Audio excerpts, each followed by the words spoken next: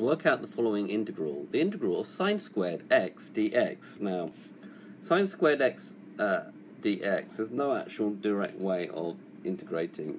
However, we can use an identity to help us. So, we know that cos 2x is equal to 1 minus 2 sine squared x. So if we rearrange this to make sine squared x a subject, we get 2 sine squared x is equal to 1 minus cos 2x. And therefore sine squared x is a half brackets 1 minus cos 2x. So what we do, we now replace sine squared x with this, because we can actually integrate this.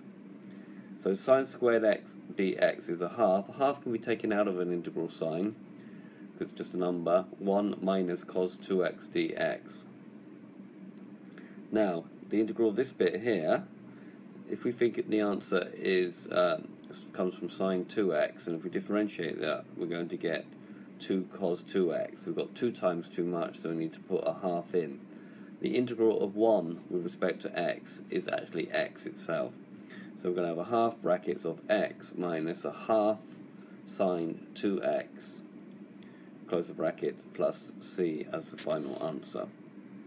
A similar process can be done from for integrating cos squared x, where you use a different version of this formula.